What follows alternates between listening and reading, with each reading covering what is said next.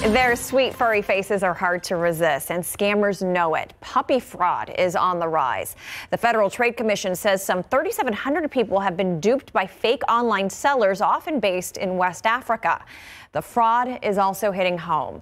Consumer reporter Marilyn Moritz with one woman's story and warning to others. The other dogs are over here. Cindy Sanchez is a dog person. She bought Bella, her Doberman, online. No problem. Good girl, Bella. So when she wanted a lap puppy, she turned to the internet and found this sweet golden doodle. The owner had named the dog Cindy, which is my name. so that was sort of a sign for me. Sanchez paid $900 by MoneyGram as requested. Here's my certificate of ownership.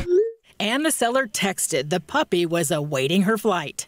Got him a toy and new dishes. I was ready. and slam. The shipper contacted us and said, There's a problem. There's no insurance on this dog.